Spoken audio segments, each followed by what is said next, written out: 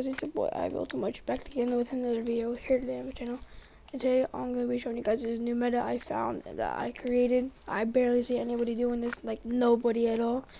It hasn't came up on any YouTube channels. I searched for it. But yeah, the, the meta I'm gonna be showing you is like like when you're in a build battle, you could do this, and then all you gotta do is you gotta edit this thing right here, that one, place a floor here and then get high ground so like this. I'll show you guys. I'm still kind of practicing it, so like that. Boom, and I'm on the 90s. So yeah, I'm gonna move my mic and show you guys a couple of times because uh, I'm currently I'm still practicing. So yeah, make sure you make sure you, you have post notifications turned on. Make sure you are subbed if you haven't already. Join the Noti gang, and I'll see you guys in the next one.